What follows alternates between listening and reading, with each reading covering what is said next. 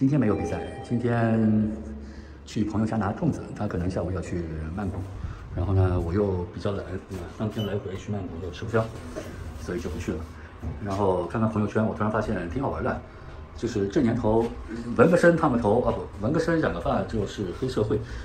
这帮说出这句话的人来说，还真不知道到底了不了解什么叫黑社会。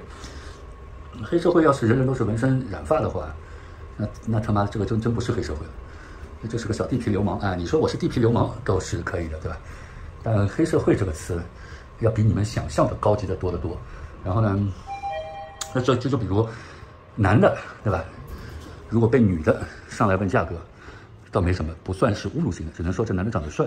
但是说那些有纹身、染头发就像黑社会的人，问这些人。你妈要是染个头发，别人上来问价格，你啥心情？是不是这道理？所以说话过过脑子。当年我在谈判桌上面知乎者也的时候，你们还在学走路呢，对不对？呃，然后我记得有一位朋友让我聊中心海，说说这个公寓怎么样。我一直不知道什么样的公寓叫怎么样，就是不太会形容。你说视野。呃，房型格局，这个不都一样吗？就是区别不大嘛。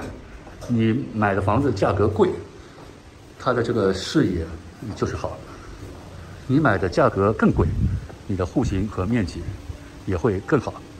那至于说你要说物业服务的话，这就要看了，对吧？对于我们呃自说自话随性了的中国人来说的话，泰国的物业并不友好。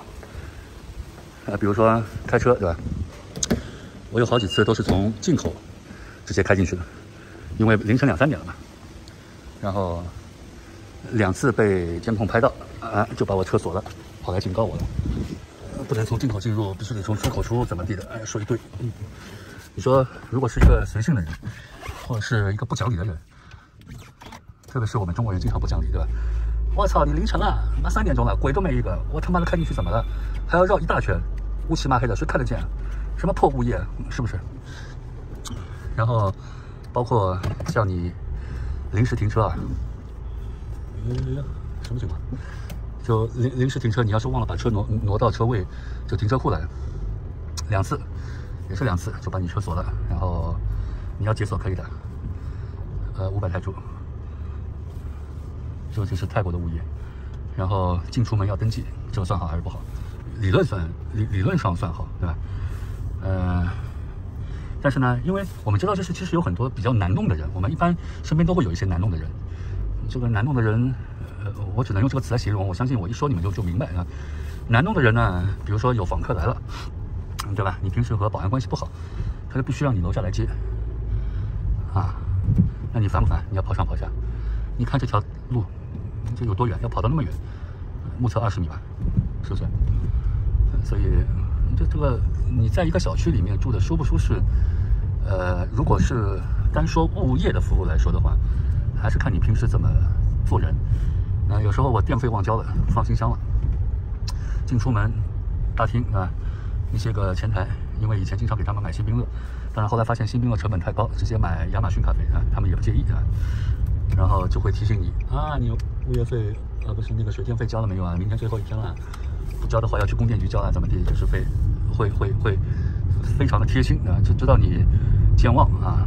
但是呢，这些好心的善意呢，因为语言的这个问题，有些人听不懂啊，那怎么办呢？用翻译软件，而翻译软软件说出来的就是很生硬的，甚至翻译的会有一些曲解，称那种逆逆向形形式，就是你比如说就是你电费怎么还没交？明天最后一天了，不交罚钱。那你一看到这个词，你可能就会不开心，然后就就吵起来了。所以还是关键在于良好的沟通。然后再说说关于中心海的这个顶楼有无边泳池，对吧？A 栋、B 栋都有，不像那个 The Base，The Base 的话，A 栋有，B 栋没有。对，这就是 B 栋的房租房价没有 A 栋高的原因。那么我们会说回中心海无边泳池，这个泳池嘛也不大，对吧？很小。你说它好看吗？挺好看的。你说它有多实用吧？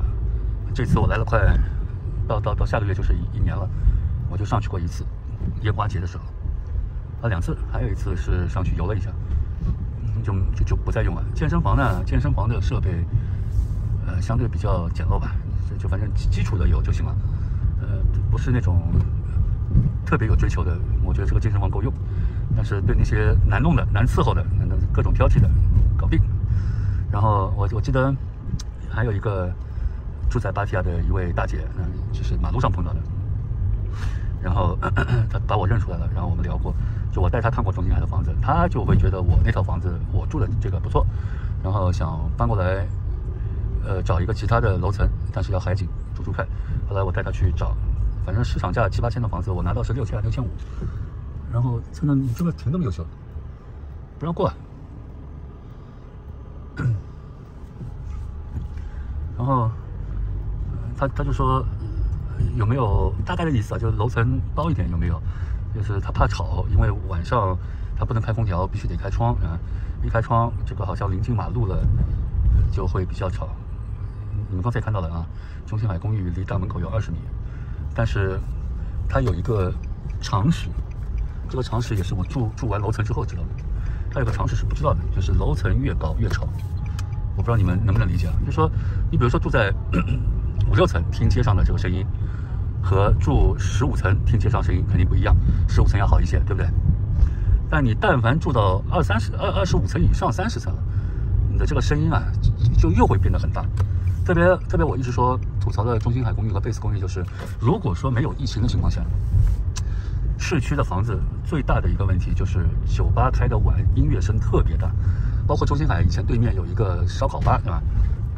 晚上开的很晚的，他就放音乐。啊，你住在三三三三四十层的人啊，听这个声音啊，就像你在你耳边放一样的。所以，并不是楼层越高，这是噪音就越低。如果这个噪音都接受不了，呃，住水系，水系就问题不会太大。你，但是要满足你开窗没声音，呃，不太可能，因为只要一旦非疫情了，这里我们上海叫不夜城，对吧？这芭提雅是更称之为不夜的不夜，凌晨。十二点，这个才巴提亚才苏醒啊，对不对？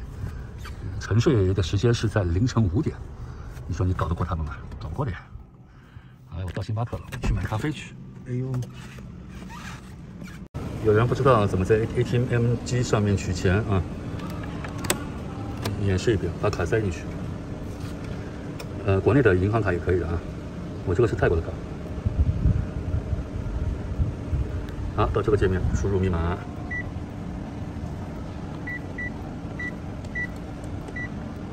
我就跳出这个东西，点这里，点一万，好了，没了。这个是恭恭喜恭喜这个银行啊，然后里面有些它是有中文，有些有日文，都有。这个纸有用的啊，为什么有用呢？然后它有时候是。买 DQ 可以减很多钱，大概是这个意思。那对于我这种来说，泰语看不懂，那没用。好，出发。我刚才试了一下用前置摄像头啊，不行，就是沿路的风景拍不出来。我们拍风景的，跟着我欣赏发起来。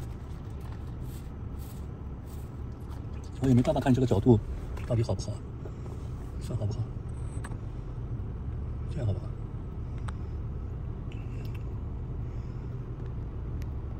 就这样吧。老规矩，点支烟压压惊。如果开车去那里的话呢，可能整个视频又会变得很长。我尽量拍快一点，然后向右转，然后向左转，向左转。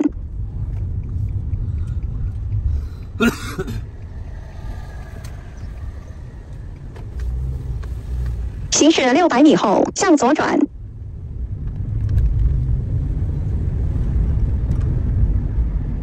今天这海水有点绿，能看见吗？呃，我不知道现在这个角度是怎么样的。还是我戴着墨镜的水啊，我戴着墨镜，不好意思。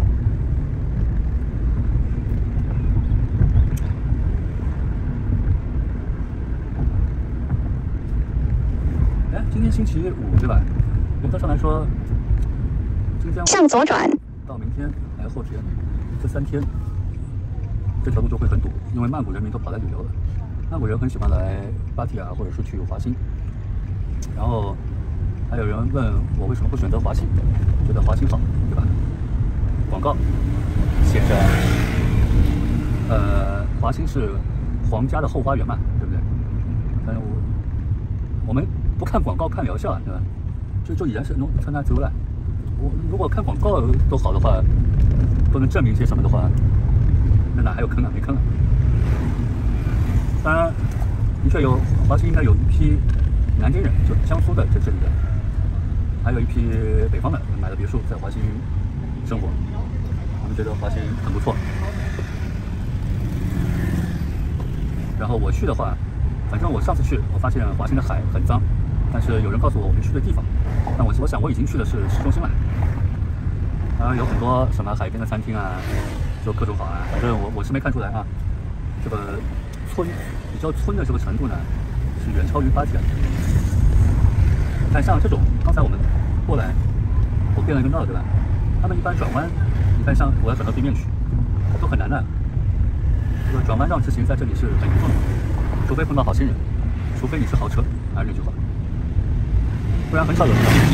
特别是那些摩托车，尽量注意摩托车，他们只要有缝就钻的，就根本不打生，不把自己的命当命，就不怎么值钱。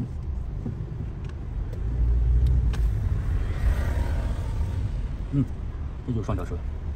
其实芭提雅每条路上面都有这种双桥车的，只不过很多线路不是常住的人不知道，或者是即便是常住的人，他也不一定知道。就像前面这条红绿灯是三路，据说有双桥车，我从来没见过。然后呢，双桥车其实也是可以包车的，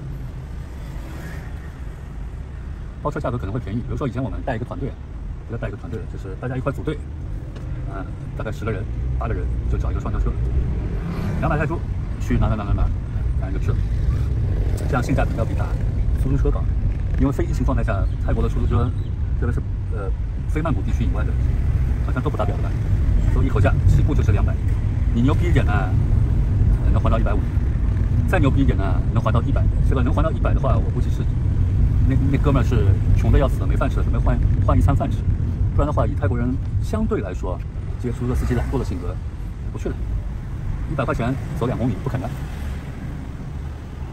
这个叫什么维维持物价，这我也不太懂。大家可以看，这是中路的 Big C，从这条巷子进去啊，比较大，算起正点。来，兄弟，们给我回来。嗯。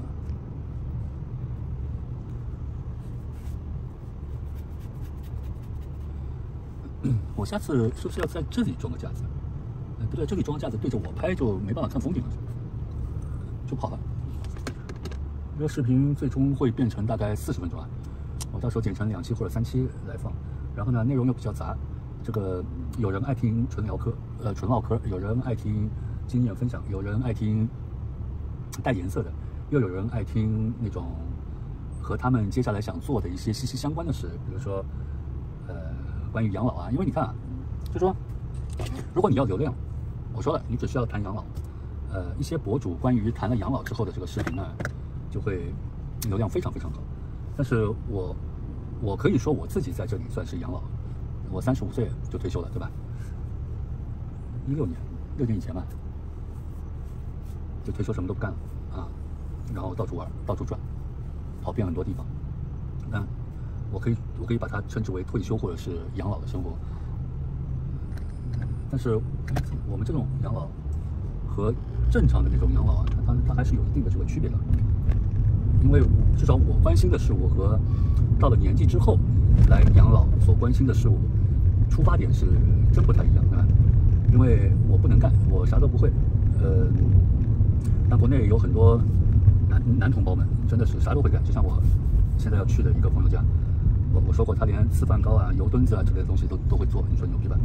就烧出来的菜都很好，所以他更关心的不是什么哪个酒吧的姑娘好看，他关心的是哪儿的菜新鲜，哪儿的菜便宜，呃，哪儿有好吃的，就是我我指的便宜是相对便宜啊，因为这哥们儿绝对是不差钱的，对吧？行驶二百米后向右转。总资产，固定资产加非固定资产，呃，过一个亿肯定是没问题的。但是别人生活就过得很滋润，很就就哎，向右转导航说啥啊？向右转的，菜单就该省就省，该花就花，从不浪费。这个不是有节约精神，而是觉得没必要。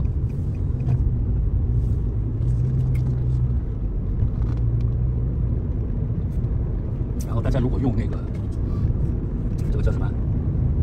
呃，谷歌导航的话，注意啊，经常会乱说话，什么一会儿右转了，一会儿左转了，一会儿前方稍向右转，稍向左转，听都听不懂。其实就是靠右行驶，靠左行驶的分车道，又或者是它会很早就提醒你要右转、右转、右转，但事实上还离得远呢，大概有一百米。然后它的那个定位的这个精确度是比我们的高德、百度要差太多太多太多。我开的有点慢，不会以。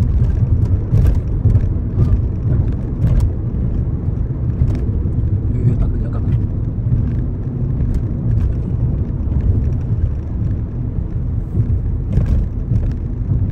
这条速分一的主干道能一路开到曼谷，而且去曼谷也不一定要走高速，上面是高速，下面是地面。有一次我打车，呃，谈了一个价格，压得很低，是辆出租车，因为想省一些过路费，他就走的下面。发现不走高速也照样挺快啊。导航怎么不说话了？你看这 Big C 好多啊！哎呀，这里的家具城你们就看不到了。这段路在上次的视频里面是有过的吧？我也不知道看我视频的朋友们里面有没有医生，我就想知道焦虑症怎么治。后来发现我开车开着开着就头晕，但是你让我躺下来立马就好。虽然它和颈椎供血就是颈椎有一定的关系，但是和供血没关系，因为我查过了。特别上次上一期视频，我去朋友家，对吧？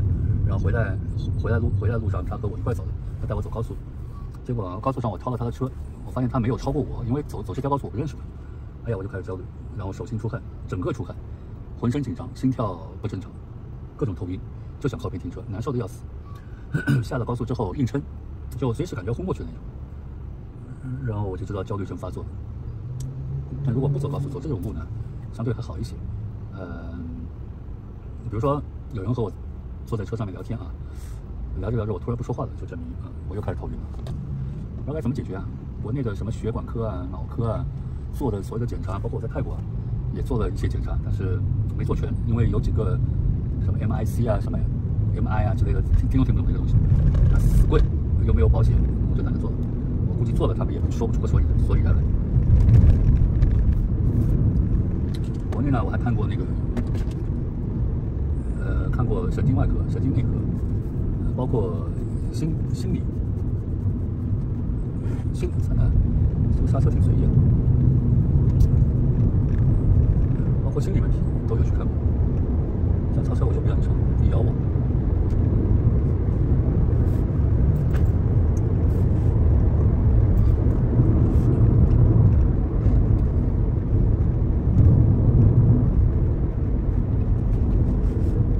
导航怎么又不说话了？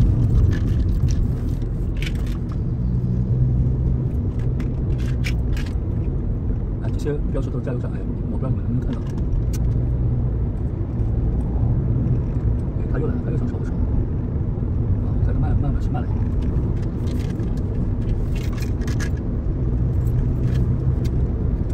苏芬一上面人均开一百码，这种当年内环高架能开到两百八的人，现在因为开车头晕导致，哎，真的是烦死了。我要眼神好一点的话，应该可以去做一个赛车手。哎，我又开始吹牛逼。现在我的视力大概零点二、零点三、零点四左右。戴完戴完眼镜啊，就是视力，我管也照样开车。有人说，我开车边喝咖啡了，边嚼槟榔边抽烟，还要拍视频，还要怎么地讲话、让车什么的，我觉得这属于常规操作呀，就是它没什么难度的呀。而且我觉得每个人的个体差异有一。次我在一家店里面，在一家酒吧里面，我借别人女孩子的指甲剪剪指甲，结果就我我剪指甲从来不是看着手指剪的，都是靠靠，就是这个我觉得靠感觉就可以了，这完全自己能判断的。然后他们就很惊惊讶，说：“哎，你剪指甲不用看的，你不怕剪到肉的？”我说：“我靠，剪到肉我会痛啊，我怎么会剪到？”就是边和他们聊天，看着他们的脸，边在那边剪指甲，他们觉得这个动作很神奇。我不知道有没有和我一样的剪指甲不看的，我我我反正从来不看。这边还有路边卖饮料的，卖花的，嗯，这些花啊，一般可以挂在这个后视镜上面。我又想抽烟了。那抽烟的话，噪音就会很大，我说话就必须得大声。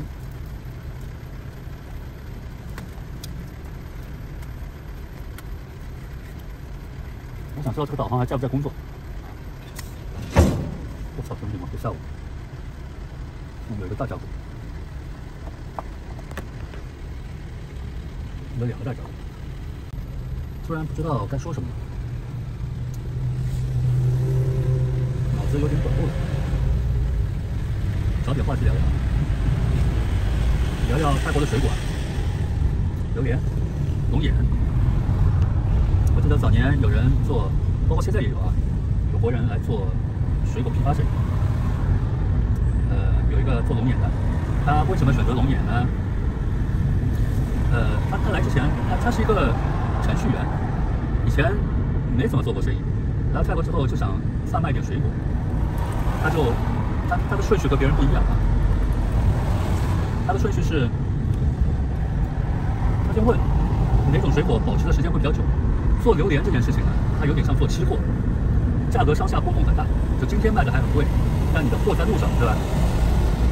可能七天十天才能到，然后呢，这个路上就指不定价格就跌了，所以呃利润非常可观，但是经不起价格的一个波动。然后而且榴莲的。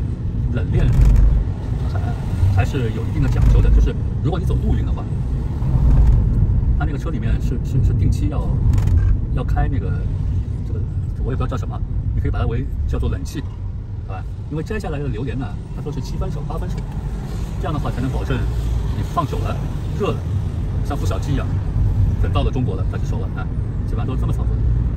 那么越生越生的果子。它越重，就比如说你七分熟和六分熟，它的重量，那你收获下肯定是按重量来。那有些果农就比较坏，对吧？弄一些六分熟的，然后再进一些黄，叫什么黄什么水啊，就催熟的，大概是这个意思啊。然后里面门道很多，我怎么感觉我开的不对啊？然后。呃，他做了几次生意，亏了好几千。以前让别人代发，后来他自己亲自跑过来。然后有一批货在有一年下雪，然后在那个哪个机场放了一晚上，所有的榴莲都冻坏了。二月份，然后呢，有人就质疑了，因为榴莲应该是三四月份上市啊。但是事实上，泰国每一季都有榴莲的，就是比如说。三四月份，建筑文榴莲出来了，建筑文的榴莲都比较有名。然后呢，你如果这批榴莲没了之后呢，你可以去春蓬，春蓬那边也有榴莲，所以它不是说，呃，榴莲只有在榴莲季才能买到，它大部分时间都有。啊，不懂的人呢就会喷，说你他妈懂不懂？榴莲就一季啊，怎么样怎么样，说一堆。啊，我对有些喷子也无语啊。然后呢，我们说那个程序员，他觉得榴莲风险太大，他就做龙眼，因为龙眼存放周期比较长，相对长啊。然后这一批货大概赚了几万块钱，还不错。然后呢，最好做的是什么呢？是椰子，因为椰子存放的周期更长，价格比较稳定，但是利润比较薄。所以这些这个就是在泰国做水果生意。哥们儿现在在做榴莲，那哥们儿之前大使馆碰到的，他还在做呢。我问他生意好不好，他说有亏，没赚到钱。我也听不懂，我看他每天都很忙的样子，经常要发货回去，而且他们发货走空运。走空运快，一天就能到，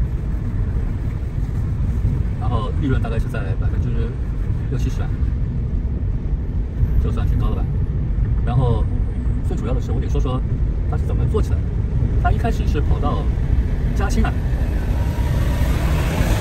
嘉兴那边他说有一个档口去批发水果，回安徽卖，然后经常干这件事情，干了干了大半年一年，就积累到了客户，于是呢，他就自己准备搞批发，然后来卖给那些零售的，就跳过那个档口，所以直接选择了来泰国。就你看别人做事情，他就比较循序渐进，对吧？不像那个卖龙眼的，哇操，龙眼都已经在路上了，他赶紧回国，开始各个水果批发市场跑，和别人谈，这这就就都不知道下家在哪儿，他上家的货已经进好的，能被他赚到钱卖掉，这也算运气好，对不对？所以我们做生意还是得有思路啊。你看巴蒂啊，什么开餐馆，有些人觉得自己做菜做饭很牛逼，要开餐馆，这。倒闭的十有八九，能成的就一两家，甚至更少。泰国生意不好做，钱不好赚。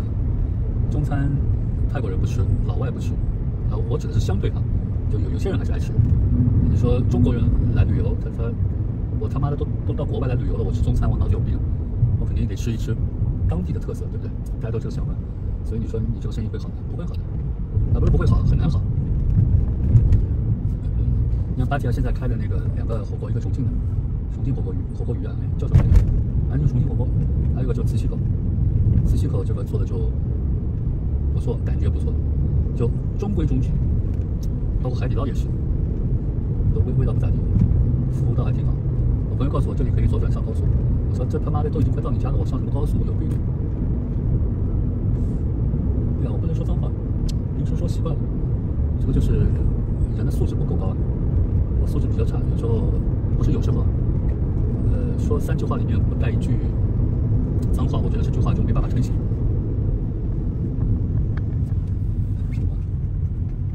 这个路啊，不知道修到什么时候。一会儿还能看到那个修的一条类似于像高架一样的东西。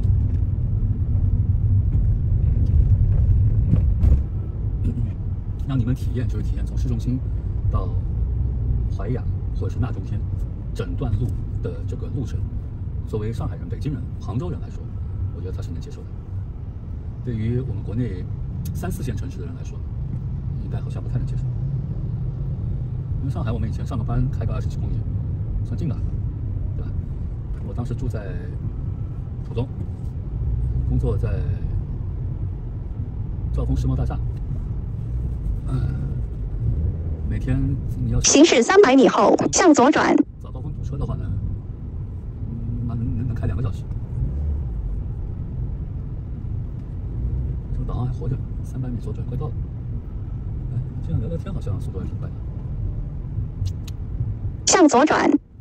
呃，我现在迷茫了，他现在让我向左转，反正肯定不是这里。一般就是大概率是这里，所以听听这个导航。有时候，哎，哎，真的是头疼。